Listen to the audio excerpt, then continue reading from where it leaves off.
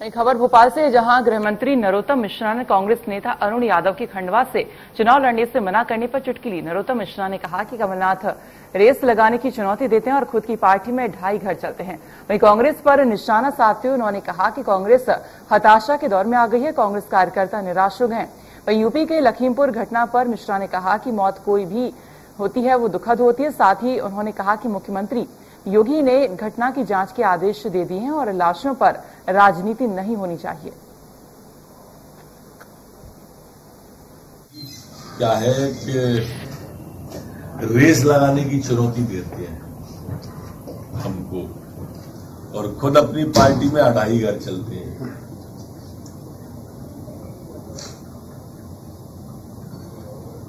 किसी के भी जमीर पर आप चोट करेंगे तो वो अरुण यादव बनेगा। अरुण यादव यादव जी के इनकार करने की पटकथा तो कमलनाथ जी के समर्थक बहुत पहले से लिख रहे थे।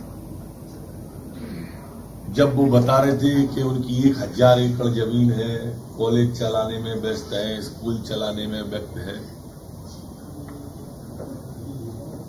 तभी अरुण यादव जी की